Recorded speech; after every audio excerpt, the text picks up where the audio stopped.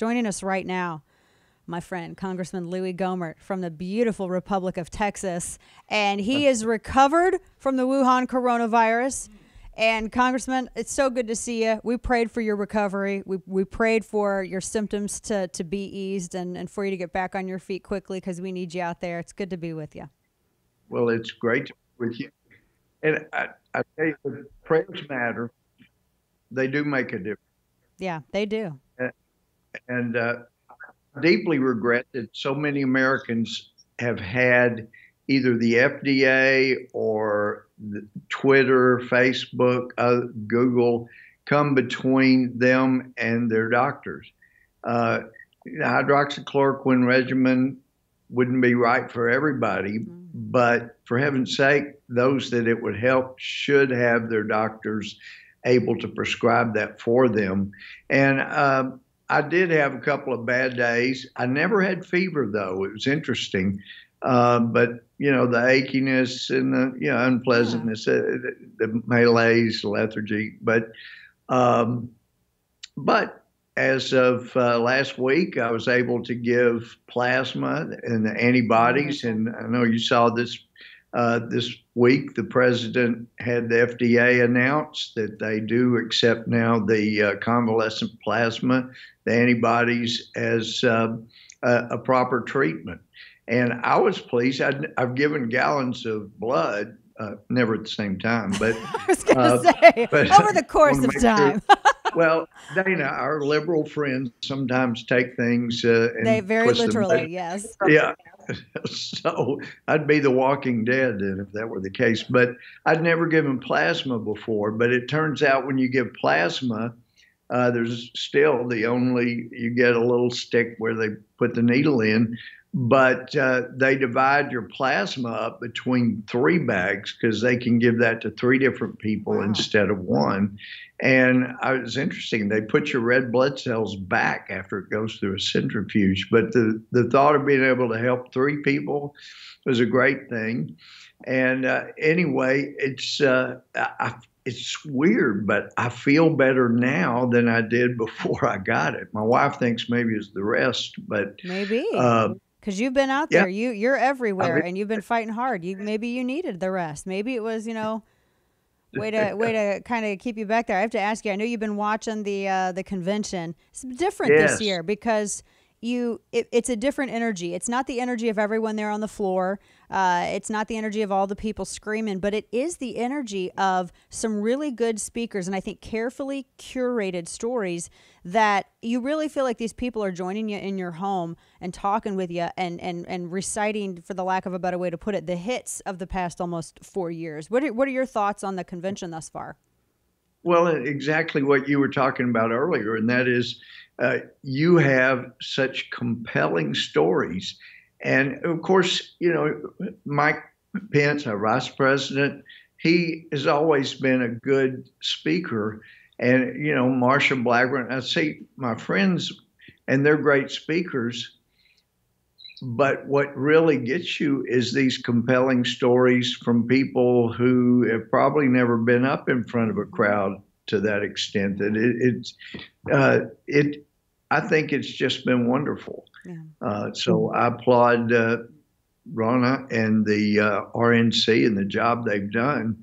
They have they've done a wonderful job of getting just American stories before the American public. It's right. great. Absolutely. Uh, hopefully, we can see some of that, uh, uh, those stories, and at least a clash of ideas and debates. Because I think what the first debate that we have between Biden and Trump is scheduled for the 29th. I've got to get your thoughts on this because Nancy Pelosi came out today and has said that the, the, she doesn't think there should be any more debates. In fact, I read a tweet from her a little bit earlier. She said, uh, I don't think that the President of the United States, direct quote, has comported himself himself in a way that has any association with truth, evidence, data, and facts, I wouldn't legitimize a conversation with him nor a debate, end quote. Is that really her decision to make, though, Congressman? I mean, isn't that the depriving the citizenry of seeing who their going who their choices are this election? Well, it is not her decision to make. Um, obviously, she's wanting to protect uh, Joe Biden, Uh, and I can understand why she would want to do that. I mean, I've been expecting more people, in addition to the speaker, to come out and say, we don't need debates because uh, they're afraid of, of Joe Biden's performance and what will happen. And he may urge people to vote for him for senator again, like he has before, instead of for vice or instead of for president. Uh, so we'll see what happens.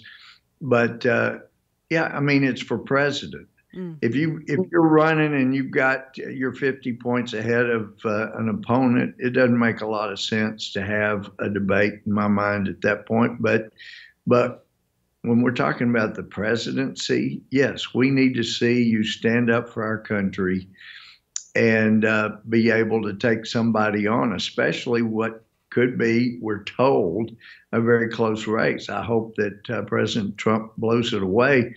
Uh, you know, uh, we have been so blessed by the grace of God, and it's a good thing I'm not God. I would have already given up on us the way we've turned our back on God.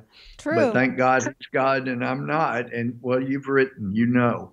Um, but God has given us another chance and we need to make full use of it. And these people that think that communism, I mean, I know you've talked about, but Black Lives Matter, you look, it's basically right out of the Communist man- Manifesto. Yeah, it's a Marxist and, organization. That includes, it wraps itself yeah, in the veneer of equality. But it's, it's, and I'm yeah. so glad that you mentioned that because I, I really want to have you weigh in on this. One of the things that I heard mentioned at the convention last night with Laura Trump, and then you know, you see what's happening on the streets in Kenosha. You see what's been going on in Minneapolis. It was stated that we, this is not like other elections. You know, in the in the past, it's always okay. What policies are better, Republican, Democrat? Let's get into the weeds. Yes, you do that still, but at the same time, this isn't just a difference between Democrat and Republican anymore.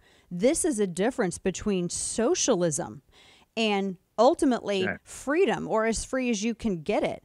I I think that that is pretty accurate. What is your what is your thought on this? And do you think that I mean I would hope that voters realize this. I think maybe some of them are when they see what's happening in Kenosha, which is why Trump's approval rating is starting to rise. Your thought?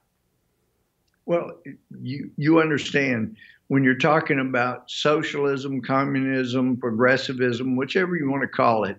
Uh, you go back to the uh, proponents, whether it's Marx, Engels, uh, Lenin I mean, all of these people have talked about how you cannot have socialism, communism, progressivism, Bolshevism, and still believe in God. Mm.